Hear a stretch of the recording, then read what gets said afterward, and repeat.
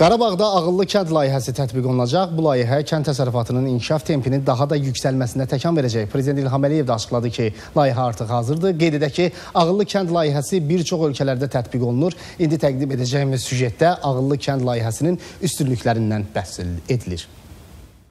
Robotlaşmış texnika, kommunal xidmətlərə fasiləsiz çıxış, elektron təhsil, elektron tibb, alternativ enerji, elektron ticarət və nəqliyyat. Bütün bunlar ağıllı kənd layihəsinin əsas hissəsidir. İnsanı şəhərə qaçmaqdan uzaqlaşdıran bu layihənin tətbiq olunduğu ərazilərdə adi kənd həyatından daha üstün və keyfiyyətli xidmət göstərilir. Ağıllı kəndin qurulması ə, texnoloji üstünlüklərdən ə, daha çox istifadə edilməsi anlamına gəlir. Məsələn, qəza baş verirsə kommunal xidmətlərlə bağlı artıq elektron sistemə baxmaqla qəzanın harda baş verdiyini müəyyənləşdirmək mümkün olur. Ağıllı kənddə ə, şəhərdə olan xidmətlərin təklif edilməsi nəzərdə tutulur. Və nəticə etibarilə bu artıq ağıllı kəndin ə, həm ə, xidmətlərin təklif edilməsi, həm təhlükəsizlik baxımından şəhərlə müqayisəsinə gətirib çıxarır. Ağıllı kənd layihəsi kənd təsərrüfatının inkişafı üçün də önəmlidir. Çünki burada robotlaşmış texnikadan, yəni ağıllı suvarma sistemindən və dron texnologiyasından istifadə olunur. Məsələn, böyük sahələrdə hər hansı problem olduqda onu aradan qaldırmaq üçün insan əməyindən istifadəyə ehtiyac qalmır. Dronlar vasitəsilə problemli yerlər aşkarlanaraq təmizlənir.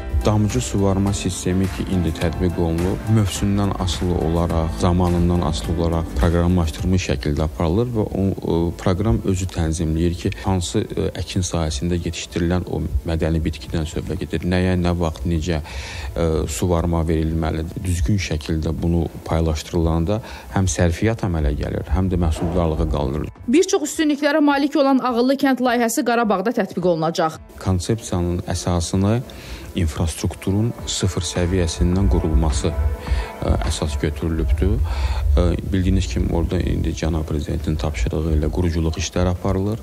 Ə, həmin işlər mərhələli şəkildə aparıldığı üçün daha effektiv şəkildə ağıllı kəndin konsepsiyasını tətbiq eləmək mümkündür. Ağıllı kənd layihəsi həm əkinçilik, həm ə, meyvə bağlarında, həm heyvandarlıqda paralel şəkildə tətbiq oluna bilər. Ağıllı kənd layihəsinin tətbiq olunduğu ölkələrdən biri də Türkiyədir. Burada kənd təsərrüfatı sahəsində robot texnologiyalarından geniş istifadə olunur. Türkiye'de akıllı tarım sistemi nerelerde uygulanmaktadır? Endüstriyel ürün yetiştiriciliğinin yoğun olarak yapıldığı geniş pamuk alanlarında diyelim.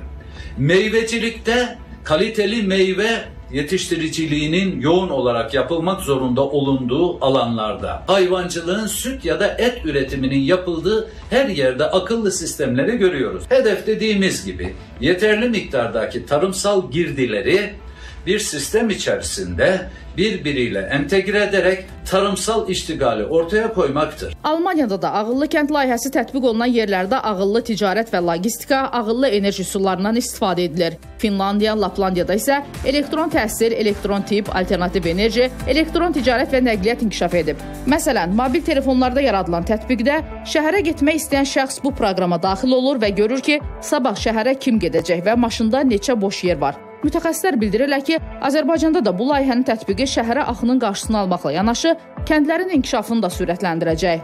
Zümrüd İbrahimova, Mir Rəsul Cəfərov, Rahil Bəhluzadə, ATV xəbər.